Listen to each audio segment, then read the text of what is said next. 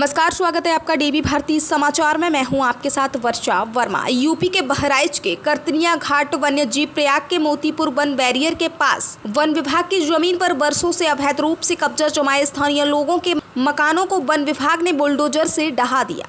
One विभाग की खाली पड़ी भूमि पर लोगों ने अपने घर बना लिए थे, जिसे वन विभाग एवं पुलिस बल द्वारा गिरा दिया गया। वन विभाग के उप प्रभागीय वनाधिकारी अमित कुमार, वन क्षेत्राधिकारी मोतीपुर महेंद्र मौर्य वन क्षेत्राधिकारी ककराहा राम कुमार वन दरोगा कमला प्रसाद पाल, राजाराम वर्मा तथा वन विभाग के अन्य कर्मचारी व मोतीपुर थाना के मिही पूर्वा चौकी प्रभारी रविंद्र कुमार, उप निरीक्षक नरेंद्र सिंह दीवान अयोध्या प्रसाद यादव पुलिस बल के जवान मौजूद रहे। मौके पर उपस्थित एसडीओ का कहना है कि कब्जेदारों को पहले डाक द्वारा नोटिस भेजी जा चुकी है, लेकिन ये लोग कब्जा नहीं हटा रहे थे। इस प्रकार वन विभाग द्वारा इन्हें यहाँ से खुद हटाया जा रहा है। गृहस्थी का सामान को ले जाने का समय भी दिया जा रहा है। मौके पर मौजूद सपा नेता जुग्गी लाल का आरोप है कि प्रशासन सबके साथ समान रूप से कार्रवाई नहीं कर रहा है।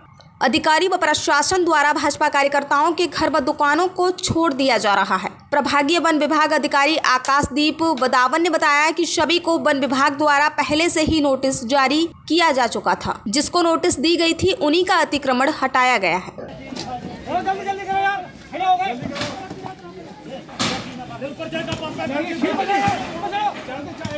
उधर से कोई दवाई भर रहा है, नहीं तो काम करो गर्मी लगेगी